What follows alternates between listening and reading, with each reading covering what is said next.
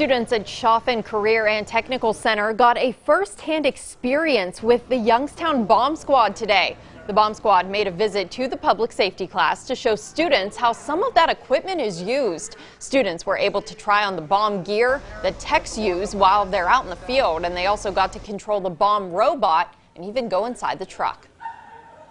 Well, I've seen it on like movies and stuff, but I never thought it was like this interesting. And then the, the technology is actually up to date, so it's a lot easier if you put your mind to it. You can actually do it instead of sending somebody else to go and get hurt, or they could proceed and actually take down a bomb.